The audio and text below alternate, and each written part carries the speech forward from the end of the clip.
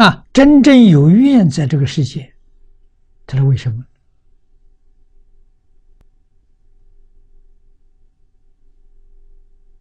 为怜悯众生，救度众生，为正法救助。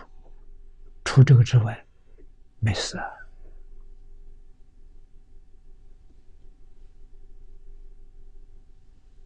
啊，我们怎样帮助众生呢？就用这个方法，嗯，庄严净土法，这个要学，学什么？庄严我们先前的世界，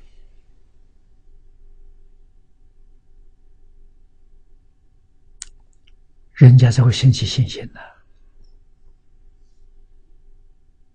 我们住在这个地方，这个地方就是净土啊。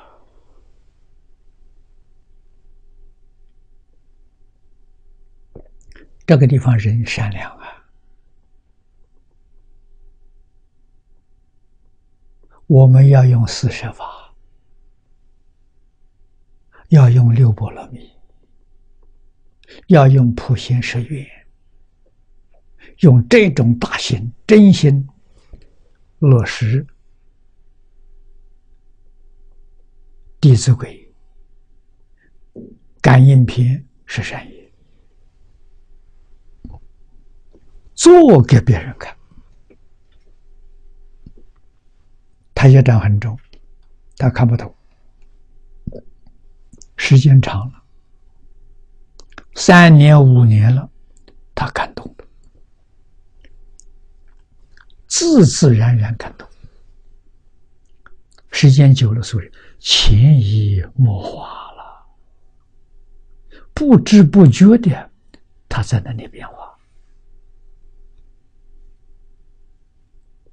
啊，立根的人说他变化的快，钝根的人变化的慢。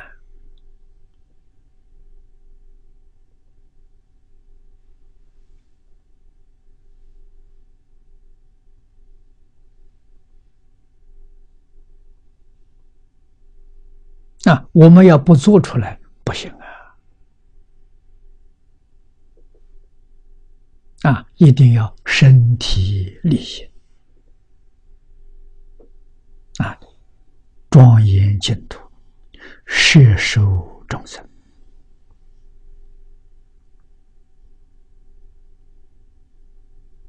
啊！只要把佛这些重要的小纲领做出来，决定有效。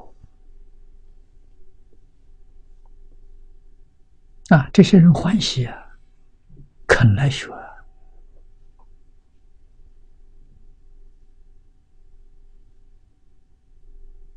啊！庄严发生法，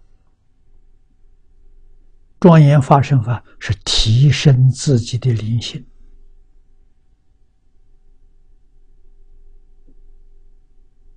啊，天天有进步，我们做不到，那是菩萨的事情。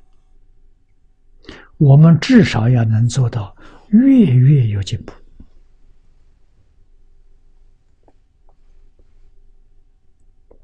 这是应该可以做得到的啊！三十天提升一个阶级，三十天又提升一个阶级，啊，不断向上提升的，不进则退啊！这个道理一定要懂，就对自己有高度的警觉性的，我不进步就退步啊！